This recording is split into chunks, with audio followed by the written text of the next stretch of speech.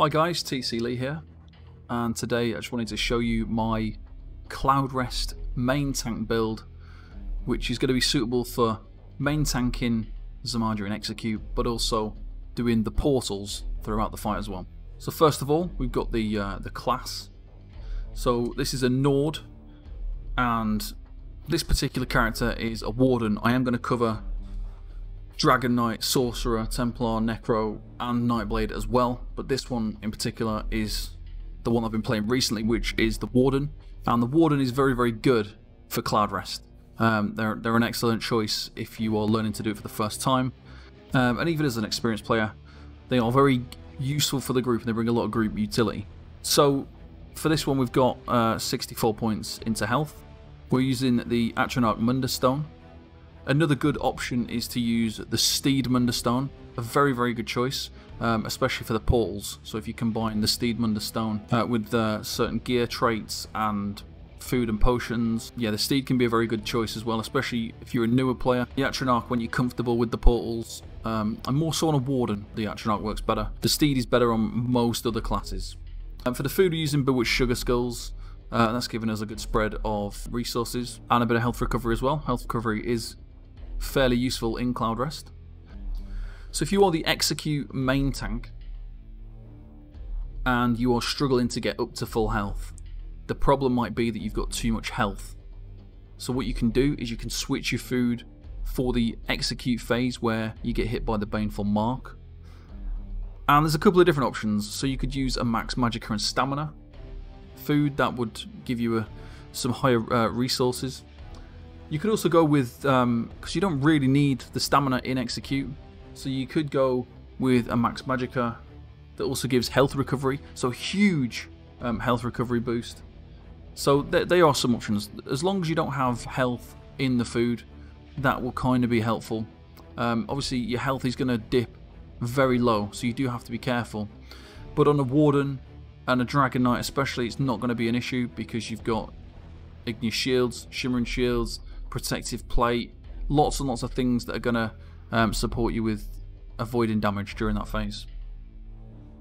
We've also got potions, so potions for this fight are quite important. So we've got the standard Essence of Health Tri-Stat potions um, that are going to give us all our resources and all three recoveries as well. So these are the ones that I usually use in the main room when I'm tanking Z'Maja. When I go into execute or into the portals, I use these um, these potions here. So we've got Essence of Health, but these ones are a little bit different. So they do Lingering Health. They restore um, health per second. They give Major Vitality. Those are really, really helpful in the execute phase.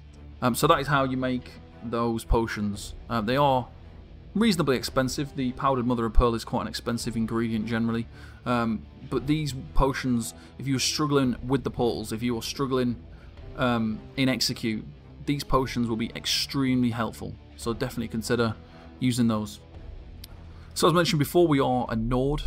You could pretty much play any um, any race for this trial. Argonian would work fine. Something such as a Breton will work really well in this trial because there is no physical damage in this trial if you are the main tank and you're doing the portal and tanking Z'Maja.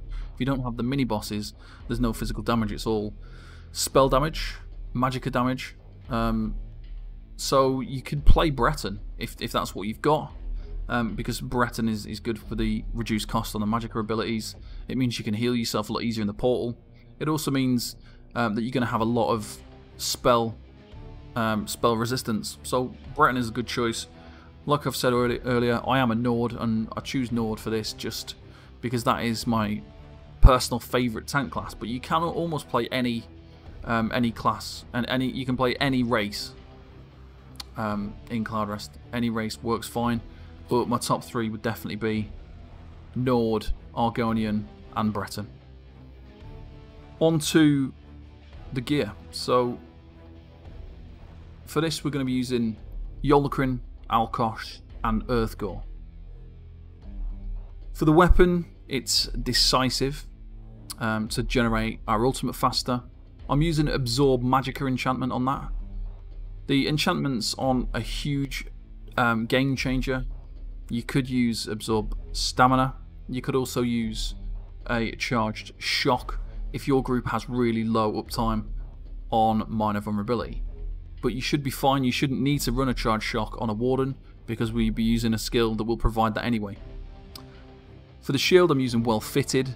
Um, the reason for that is because I have to do a lot of sprinting around the room and I do occasionally need to dodge roll certain mechanics. Um, so I, I, I, use a one well fit shield. Using an ice staff um, and that's an infused crusher because we need to maintain the crusher enchant to increase our group's DPS. We're using an ice staff because of the bar swap mechanic where we could sometimes accidentally get stuck on our back bar. If we're using a lightning staff during that phase, it's going to be a lot more risky if we accidentally get stuck on our back bar and it's a lightning staff and then we get a heavy attack from Z'Maja. There is a chance that we're going to be very much struggling to deal with that. So we use an ice staff for the safety option. It's, it's very much the safer way to go. Earthgore. Now we're using Earthgore um, infused on the helmet. That's a medium helmet. I'm using a light shoulder. That is Divines. Um, this is a great option. So, especially in the portal, when your health goes low, you use your self heal, and you're going to get yourself a 35k heal. Now that's spread out over 10 seconds. So it's a nearly 3,500 healing per second for 10 seconds and you can proc it every 20 seconds. Now the 20 seconds cooldown pretty much inlines itself with Baneful Mark and Execute as well. So you will have Earthgore for every single Baneful Mark in the Execute phase because as soon as you get hit by it, you proc yourself heal. Um, that will activate Earthgore and you've got yourself a 35k heal. It's it's the best monster set by far. So we're using Yolnahkriin for our other body piece. Um, as you may have seen there, we've got um, all the big pieces are infused. So the legs, the chest and the head infused with the multi-effect enchantment. The small pieces are all divines with magicka. The reason we don't use um, Tristat or health, obviously we don't want to have too high max health in this fight. We do need more magicka though, because we're relying heavily on a lot of healing. We're in the portal. We're, we're, we're trying to maintain a good level of magicka and magicka recovery. So we're going with, with maximum magicka just because stamina has no real use in this fight because it's so easy to heavy attack. We don't want health, so magicka is the next best option. Divine's magicka on the small pieces. For the jewellery, we're using 3 Harmony um, with Magicka Recovery. For the execute phase, the Harmony is absolutely vital for us bringing our health back to full if we're solo tanking. If you're not solo tanking, if you're switching the boss, or if you are not the main tank and execute, so somebody else is doing it and you're becoming essentially an off tank and execute, then you would just switch to 3 infused Magicka Recovery. So if you're switching the boss in execute, or you're not the main tank in execute where you're taking Z'Maja and dealing with the Baneful Mark, use infused. If you are taking Z'Maja and execute and you are a main tank, then use Harmony. Onto the skills. So we've got so we've got for skills. We're using Ransack uh, for our first skill. This is a melee taunt and that will give us um, minor protection, which is the reason why we're using this. So using this for the for the minor protection. This is quite a hard hitting trial in terms of the heavy attacks and the portal and the execute. Everything hits quite hard, so we want to maintain that minor protection. We're using heroic slash. That's for the minor maim to reduce the enemy's damage by 15%, but also the minor heroism.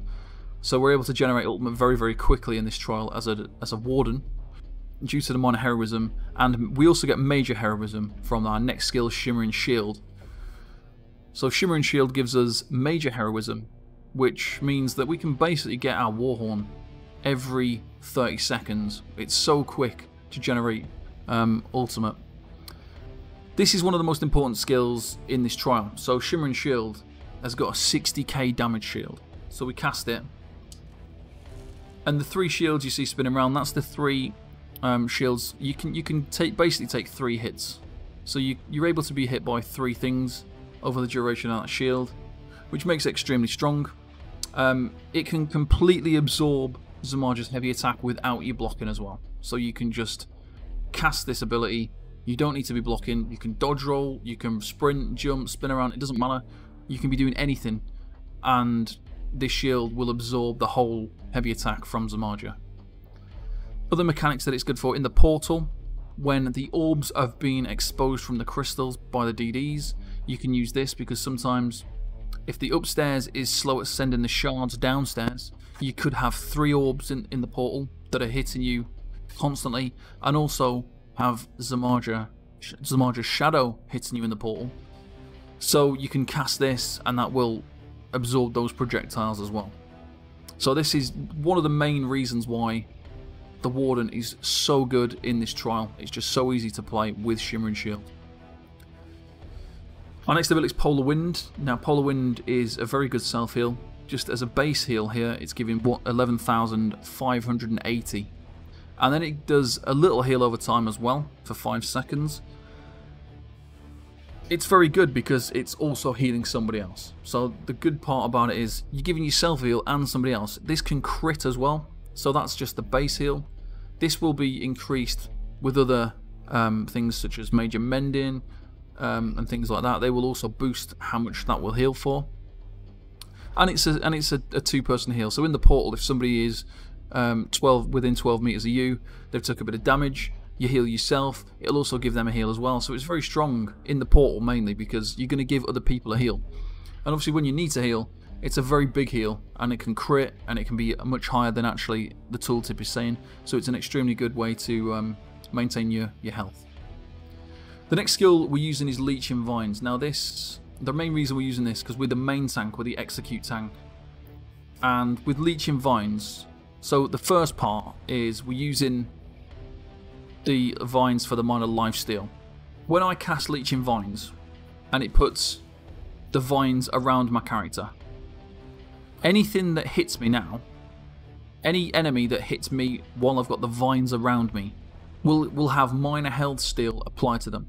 So when I cast Vines, Z'Maja hits me, and Z'Maja gets minor health steal applied to it.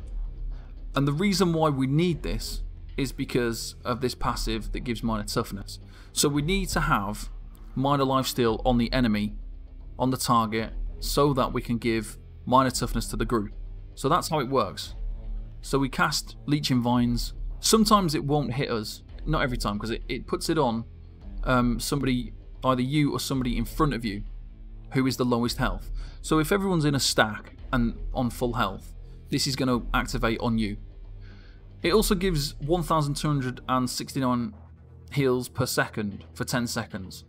So when you combine that with the heal over time from Polar Wind, if you get this both activated on yourself, you've got Leeching Vines healing you, you've got Polar Wind healing you as well. So you've got some heals over time and some big heals. So we've covered that. So we've got Minor Lifesteal. The other important reason for using Leeching Vines. So if we weren't the Execute main tank, we wouldn't be using Leeching Vines. We would be using Blood Altar instead. But because we we're, we're the Execute tank, we're having to deal with the Baneful Mark and we're not switching. We're solo tanking it. We need to get Major Mending.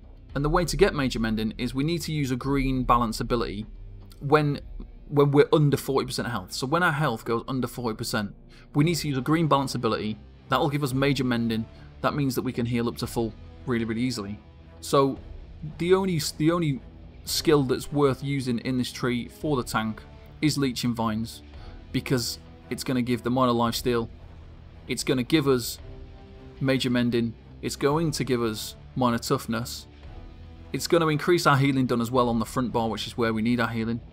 But also, um, if it doesn't work on us, it's going to give us some resources back. So when you heal an ally with a green balance ability, you gain uh, Magicka or Stamina.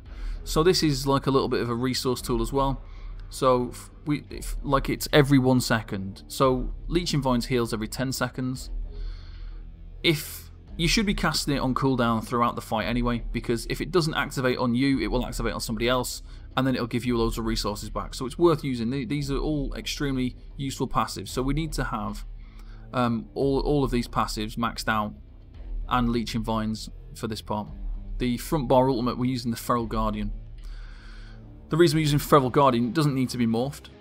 We're using Feral Guardian again because of the passives.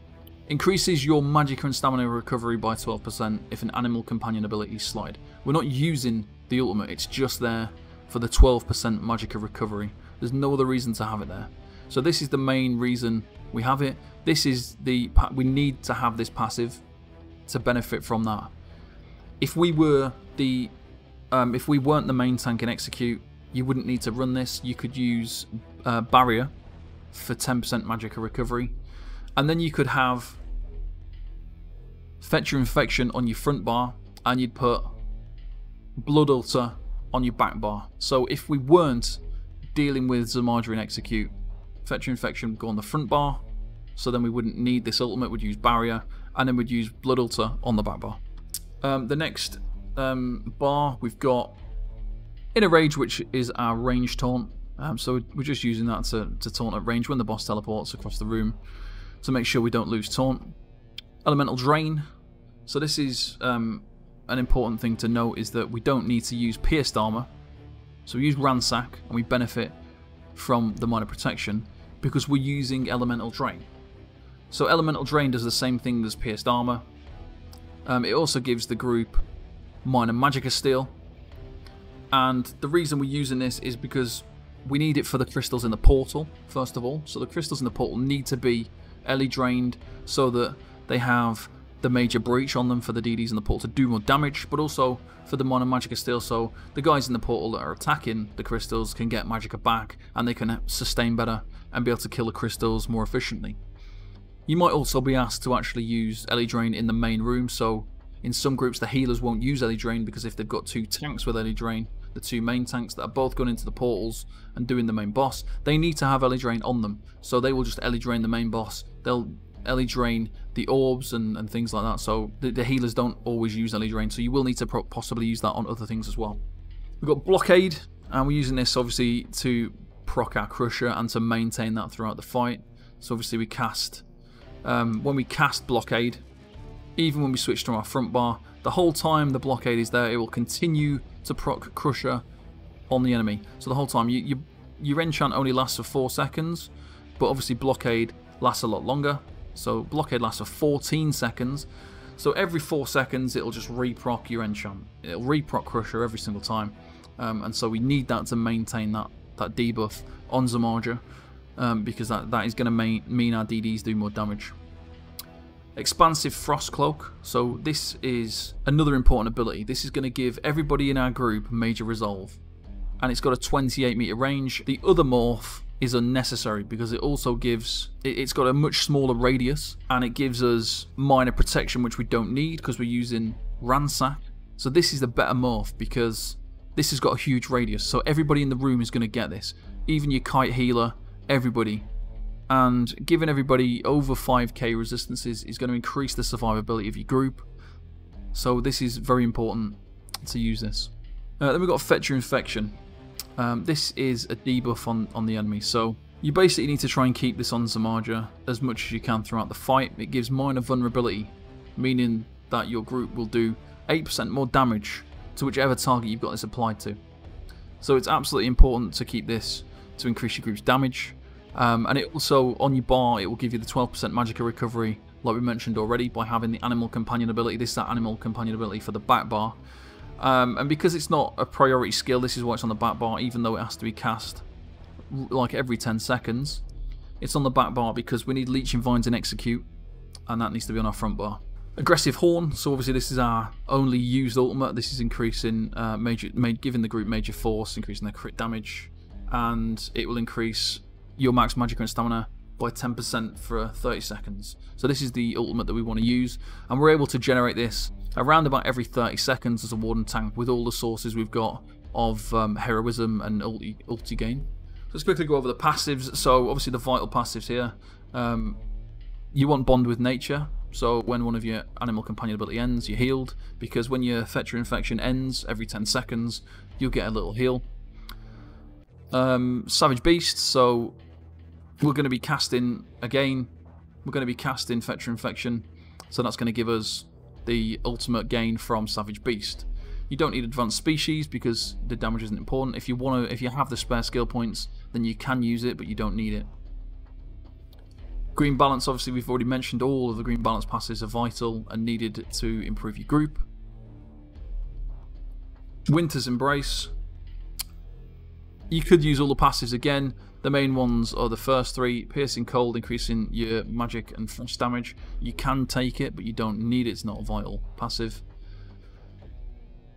One Hand and Shield, we just use all of the passives because obviously that's our main um, our main bar, our Sword and Shield bar. So we, we, we need to take all the passives from that one. Destruction Staff, you don't want to use the Tri-Focus passive. So fully charged heavy attacks with a Frost Staff taunt the enemy. They take too long, so we're not going to be using the fully charged Frost Staff heavy attack. We also don't want to block with um, Magicka, so we don't want to be blocked with Magicka. Magicka is very, very important in this trial because we need to heal a lot. We need to be doing a lot of Magicka-based abilities. We need to keep up a lot of Magicka-based buffs, so we can't afford to waste our magic by blocking. We can block using stamina. We can heavy attack to get our stamina back. We won't be tanking the whole fight. So when you first, when you switch tanks with the main boss um, during the main part of the fight, so one of the tanks comes out the portal, you switch the boss around, you've got seconds there where you won't be blocking and you're able to generate stamina. So you definitely don't want to be blocking with Magicka because it'll mean you won't be able to heal, you won't be able to cast your buffs, and that's going to cause you more problems. Penetrating magic, so you could use that to increase your damage slightly. Elemental force, you can keep that. Um, that that's not a bad one to have. And then ancient knowledge, so that we can increase the amount of damage um, that our frost staff can block, but also reduces the cost of blocking when we're using our frost staff. Since we're using 511, we want the um, light armor passives. So the first three are the light armor passives that you need. Grace, which is going to give us the um, reduced cost. So it's going to give us reduced cost um, of sprint. It's going to reduce snares, which is kind of good when we're dealing with the ice boss. Um, and it's giving you that really, really big snare.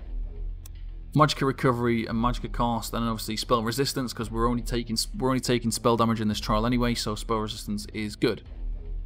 Medium armor, we're using five on one, so the the two main ones are Windwalker, um, reduce the stamina cost of your abilities, and then athletics, which is going to increase the movement bonus of sprint. So we're going to be sprinting across the room to get to modules, so that's good.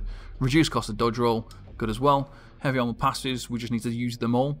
We're going to be using 5 heavy, so we need the heavy armor passives. Undaunted, you want Undaunted Command and Undaunted Mettle. That's going to increase, because we're using 5 on 1, it's going to give us a 6% bonus to our health, stamina, and magicka. Undaunted Command, because we're using Alkosh.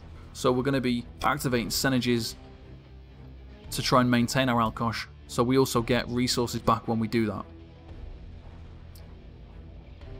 If you are using Barrier, as we mentioned before, so you don't need to morph Barrier, you just use Barrier, and then you need the two Magicka Aid passives to give you the 10% Magicka Recovery. So one, 2 out of 2, that'll give you 10% Magicka Recovery. And obviously, as a Nord, you want to be using all your class, uh, you want to be using all your racial passives as, as whichever race you are. Finally, you want medicinal use. Obviously, it's better if you've got alchemy maxed out to 50 and then you want the three medicinal use passives which will give you a longer duration on your potions. So there we go. That is the Warden build for Cloudrest, Cloud Rest hard mode. I'm also going to show you some quick setups for other classes as well. So another popular class is also the Dragon Knight. Um, here are the Dragon Knight skills. So it's a very similar setup. Um, the only difference being, obviously, you don't have expansive frost cloak, so you would use uh, balance instead. You don't have Fetcher Infection, so you would use protective plate, and that's going to reduce your incoming damage from projectiles by 50%. So that's important. When you're taking the heavy attacks from Z'Maja, use protective plate, it's going to reduce the damage. Um, if you get stuck on your back bar as well, it's good because you're going to be on your ice staff and you can use protective plate to reduce the damage, but then when you're on your front bar, you've got the heal to deal with it. The main reason for using a Dragon Knight is because of the stagger, which comes from Stone Giant. So that is the main thing you should be using. If you were using a Dragon Knight, you need to be using Stone Giant, you need to be using stagger. That is the reason why you are there. It's much easier to maintain stagger if you are the off tank though. So if you are one of the main tanks, you're in and out the portal. It is a bit more tricky because you're not going to be there for some of the fight. So it's ideal to have it potentially on the off tank if that's possible. Um, and then obviously Igneous Shield because it's a great shield. It gives a group shield as well. It gives you a shield and that works out really well. Next we've got the Sorcerer. So this is the Sorcerer option. Um, so we use the same again, Ransack. We use Heroic Slash. Um, we use Bound Aegis for this one. And it's... Um, you, so you're going to use that when you're about to take a heavy attack. Cast Bound Aegis. It's going to reduce the, the damage from the heavy attacks. It's going to be good for the portal. If you're taking a lot of damage in the portal, cast Bound Aegis, it's going to reduce your incoming damage. It gives you 40% more damage mitigation. Very, very strong. You need to use the Unstable Clannfear. That's going to give you a really, really big self-heal. It's a great self-heal. Um, so that's vital to use that. The last skill on the front bar, so you've got Restraining Prison. Now this isn't going to restrain anything. But what happens is when you cast Restraining Prison at an enemy, even if it's an elite enemy or it's a boss, it's not going to restrain them, it's not going to do anything. But it will still give you the buff. And the buff is Major Vitality, which is going to increase your healing by 30%. Your healing received by 30%. The main reason for using the Sorcerer is for the Minor Prophecy, and that will come to us via restraining prison. So that's one of the other reasons why we use restraining prison is because it's going to proc our sorcerer group buff, um, the minor prophecy, which is quite important. It provides around a 2k DPS increase to your Magicka DDs. Um, and then obviously barrier on the front bar there for the for the Magicka recovery. So again, so we'd use balance for the Ma Magicka sustain, and yeah, that, that's that's the sorcerer. So we've got the Necro now. The Necro is a little bit more tricky, so the Necro is not quite as strong as the other three that we've mentioned so far.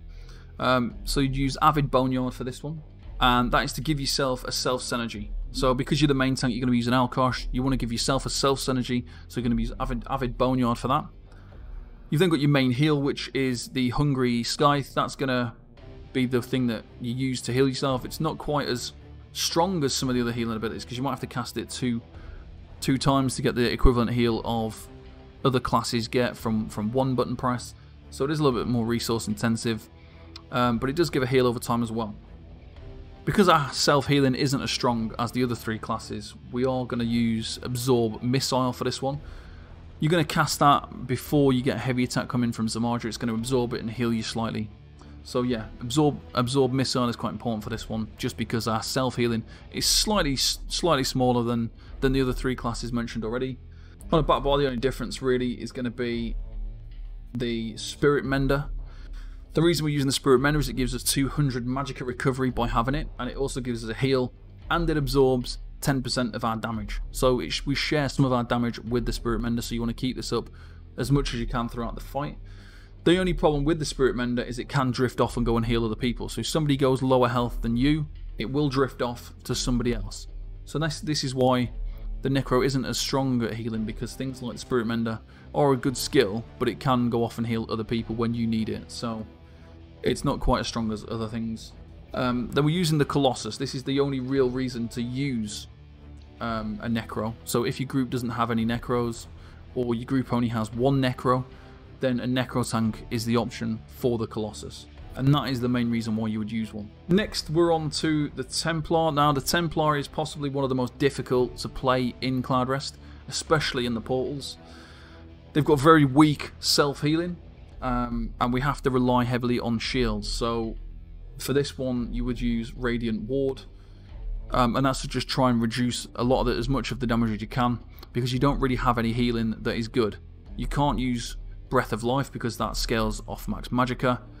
The heal from it is very weak, and it also costs over 5k Magicka to cast.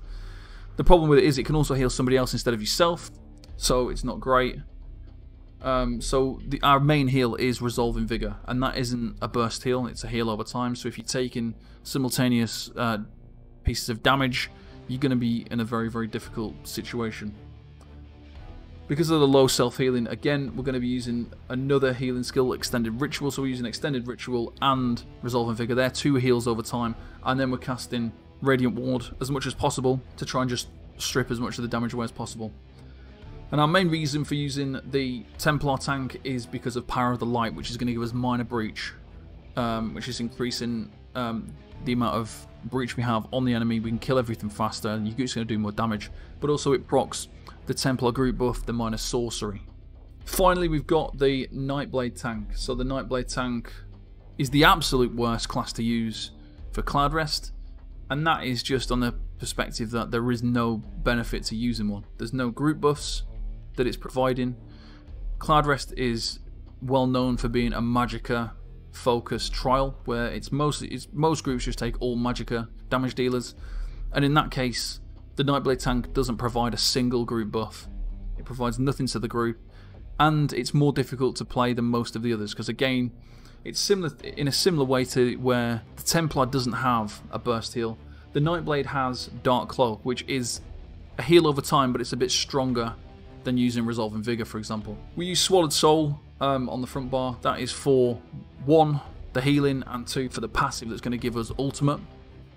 We're then using Dark Cloak for our heal over time, which is our burst heal. You can heal for 8k per second when it's fully maxed out, when you're fully buffed up, when it crits. It can be healing for 8k a second, but generally it'll be around 4 to 5k per second. So obviously if you're taking a 25k hit of damage, it's going to take a few seconds to get back up to full. It is a little bit more of a struggle. For that reason, we use Absorb Missile again, and that's just to try and absorb some of the damage so that we have less to heal up, and that kind of helps us with that one. On the back bar, we've got Leeching Strikes.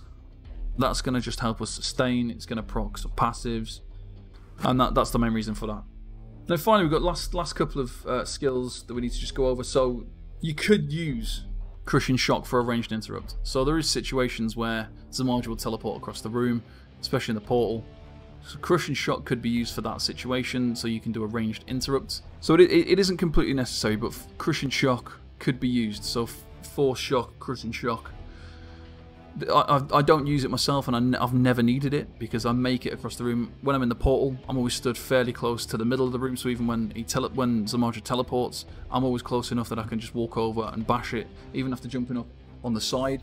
The other skill uh, you might need, so you've got a chaining ability the, the problem we've got, if you are the main tank and execute, you're going to struggle to find space for these skills. There is nothing on your board that you could remove.